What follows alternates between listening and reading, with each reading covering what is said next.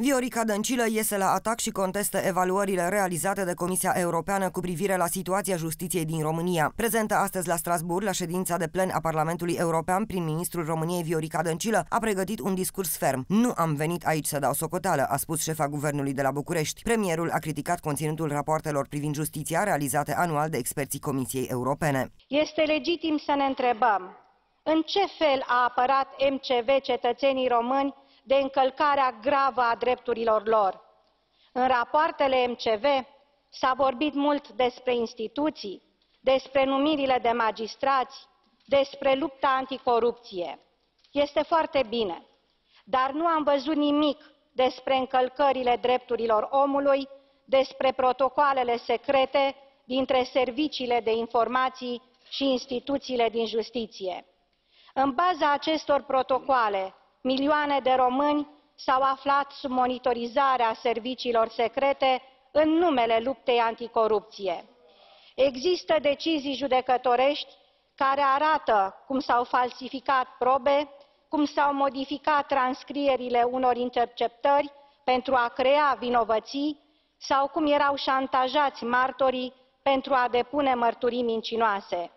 Nimic despre aceste lucruri în rapoartele MCV. Mai mult, premierul le-a cerut socoteală funcționarilor Comisiei Europene care au întocmit rapoartele de țară. Asta nu înseamnă, sau asta înseamnă, mai bine spus, că acest mecanism și-a ratat menirea pentru care a fost creat.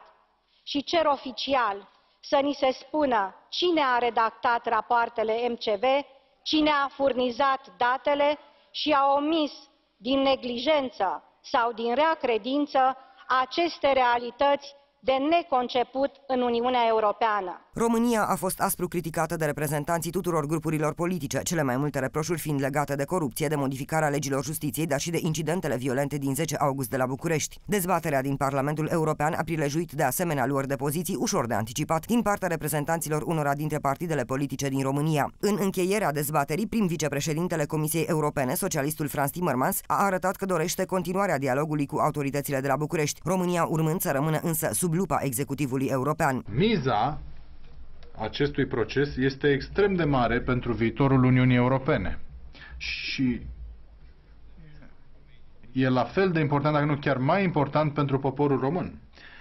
Deci, dacă Comisia trebuie să fie brutal de sinceră în evaluarea noastră, o vom face. Dacă trebuie să folosim alte mijloace la dispoziția noastră, o vom face. Asta nu e amenințare. Vă spun care e rolul Comisiei și vă spun că suntem gardienii tratatelor și că ne luăm acest rol foarte în serios.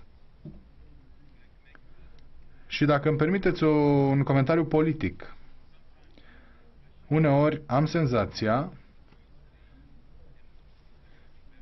ca să îl citez pe nemuritorul Yogi Bear, e deja vu all over again. Deja vu și iar deja vu.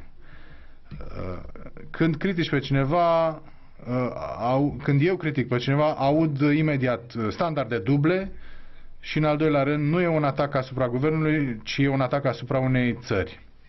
Sper că am spus foarte clar astăzi că noi n-am făcut altceva decât o evaluare foarte la rece a situației din România și am analizat propunerile de schimbare a legislației că facem acest lucru uh, pentru poporul român și nu împotriva poporului român și că tratăm fiecare stat membru exact la fel. Ne uităm la fapte și recunoaștem că fiecare situație este diferită nu uh, tratăm toate statele membre cu aceleași standarde, ci pe baza problemelor specifice care există în acel stat membru.